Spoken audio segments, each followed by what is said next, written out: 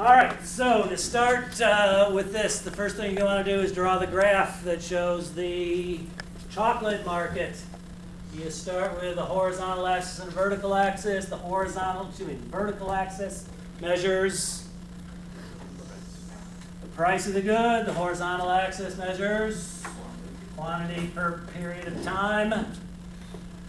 The higher the price, the more chocolate firms will want to sell, so the supply curve has a positive slope. The higher the price, the less chocolate people will want to buy, so the demand curve's got a negative slope.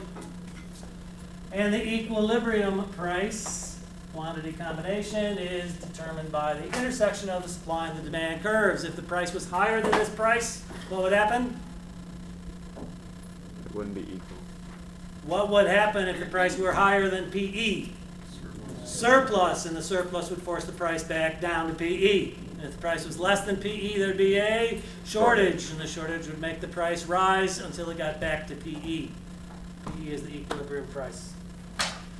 All right, so for A, what happens? There is a increase in the price of cocoa, which is used to make chocolate. So, is this going to change the supply of chocolate or the demand for the chocolate?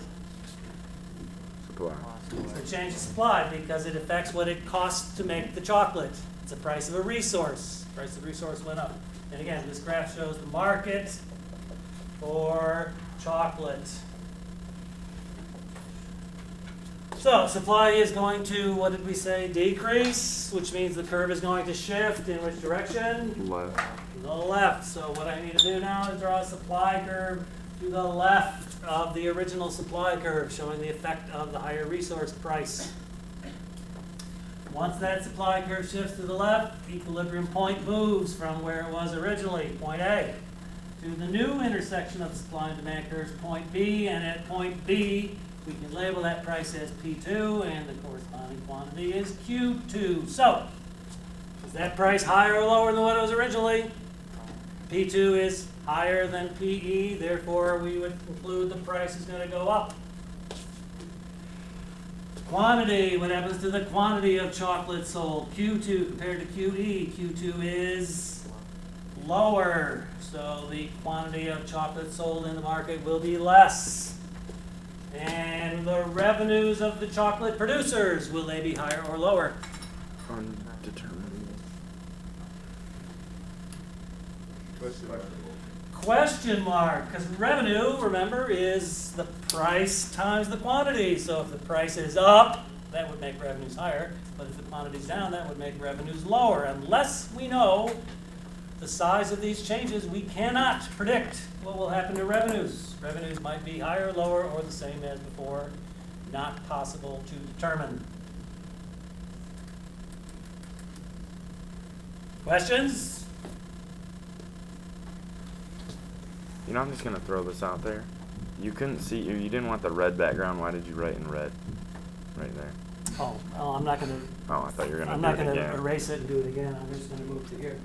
So I'm gonna let Mr. Swain take over. There you go, sir. That wasn't good planning on my part, though, you're right. All right, so B says the prices of taffy, hard candy, and other non-chocolate sweets increase. Again, the starting point is the graph that shows the supply and the demand. So we draw the vertical axis that measures the price, the horizontal axis that measures the quantity. You Still recording? Yeah. We are recording still? Yeah. Supply, demand in the market for chocolate. Equilibrium quantity, equilibrium price. So what will change in the market for chocolate if non-chocolate sweets go up in price? There'll be a change in the demand. The demand for chocolate will change, and if these other things are more expensive, will the demand for chocolate go up or go down? Up. Demand for chocolate increases, and we show that by shifting the demand curve in which direction? To the right. To the right for an increase. The increased demand for chocolate means that The quantity sold is going to go up.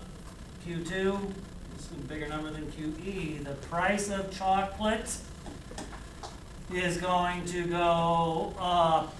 So chocolate will be more expensive, more of it will be sold. And since the price and the quantity are both increasing, we can predict what happens to revenues. Revenues will go up. Since revenue is P times Q, both of those numbers are bigger. So that would be the change in the chocolate market for part B, where the price of some substitutes went up. Any questions? Thank you very much. You're my cinematographer now. You don't get an extra pay for this one. Uh, so what's going on with number three? Is the graph in my, uh? Yeah. Yeah?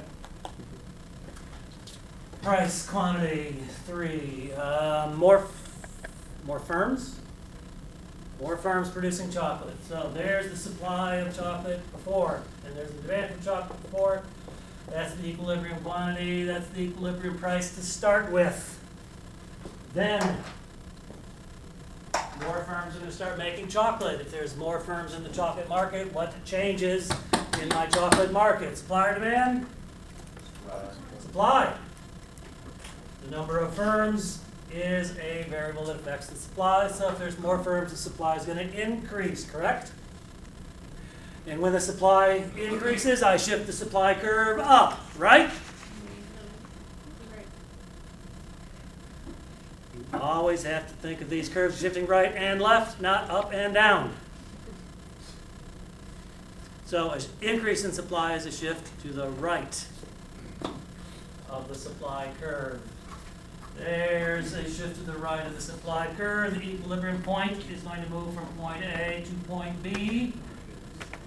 At point B, the price is higher or lower? Price is lower, P2 is below PE, the quantity is higher, Q2 is farther to the right than QE, and since the price and the quantity are changing in opposite directions, it's not possible to predict what happens to revenue. And so that's what your graph should look like for C, where there's more firms. And now we are at D, and at D, what happens? D is a change in income. All right. So when the income changes, we need to make an assumption about what kind of a good we're talking about. The good could be a normal good, or the good could be an inferior good. What kind of a good do you think chocolate is? Normal or inferior? For most people, I would say chocolate's probably a normal good. So if we assume chocolate's a normal good and people have more income, what's going to change in the chocolate market? The demand is going to change and the demand is going to increase. Now it seems like we had a graph a minute ago that showed a demand increase, didn't we?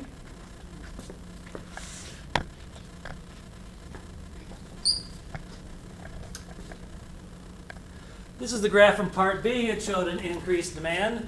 This increased demand was caused by the fact that the price of substitutes went up, but an increase in income would have the same effect, increasing the demand. And so you would expect higher quantities, higher prices, higher revenues in the chocolate market. so same graph for part B as for part D. What if you wanted to assume chocolate was an inferior good? Which way would the demand curve shift if chocolate was an inferior good and people have more income? Left. It'd go the opposite direction and price, quantities, and revenues would go down. If you wanted to make the assumption that chocolate was an inferior good, if you specify that assumption and then shift the demand curve to the left, that would be fine. I would, might disagree with your assumption that it's an inferior good, but if you make that assumption and then you analyze based on it, as long as you analyze correctly, that's, that's cool. That's cool. Thank you. Now you're in charge. All right, so the last graph, uh, E. We have two things going on here, quantity and price. Quantity per time period, there's a supply curve and there's a demand curve. Again, this is the market for chocolate. QE is the equilibrium quantity, PE is the equilibrium price to start with. Is that graph on the, in the image there? Yes? Sweet. All right, so what happens in E? What changes? Number of firms increases, and when the number of firms increase, that was a previous question, with more firms, the supply increased. So my supply curve here is gonna shift to the right, because more firms are selling chocolate. What was the other change? Consumer incomes goes up, that was part D, and more income, if it's a normal good, means more demand for chocolate. So the demand for chocolate's gonna increase from the original black D to the blue D two. So as I've drawn the graph, the equilibrium point would go from my point A to my point B. And the price is gonna go up, and the quantity is going to go up, and the revenues are gonna go up. Anybody see a problem with that? Hope somebody sees a problem with that.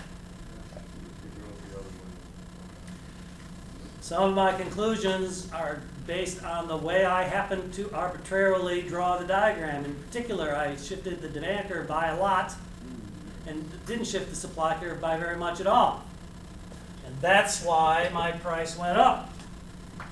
If instead I had shifted the demand curve by not very much, and the supply curve, I shifted a lot more. Well, in that case, the price would be less. And since we don't know which curve shifted by the most, we really can't say for sure whether the price of chocolate would go up or go down in this instance. So, the price of chocolate could be higher or lower or the same as before, depends on the size of the shifts in the supply and the demand curves. What about the quantity of chocolate sold? Will that rise or fall? Quantity is going to go up, and it doesn't matter which curve shifts by more. The increase in supply leads to a higher quantity, the increase in demand leads to a higher quantity. When they both happen, quantity will rise by a lot. What about the revenues of the chocolate producers? Since we're not sure what happens to price, it's possible that the price could go down, in which case the combination of a lower price and a higher quantity would make the revenue change indeterminate. Question? Yeah, I'm looking, I'm looking, I'm looking at you. You look like you were about to ask a question. So, on your test, you will have to do some questions like this. There'll be some sort of a scenario where you have to draw the graph, shift the curves around, figure out what happens to price, quantity, and revenue in the market.